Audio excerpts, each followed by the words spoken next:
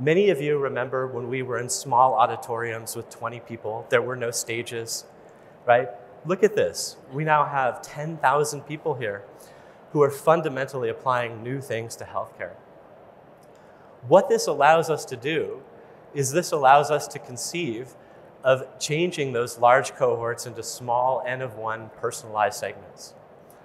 These are the types of things that can let individual patients have their own baseline and look at deviations from their baseline to predict disease, to look at relapse. This allows patients to communicate with their physicians and change their therapy real time. All of these are being unlocked by advances in cloud computing, artificial intelligence, machine learning, etc.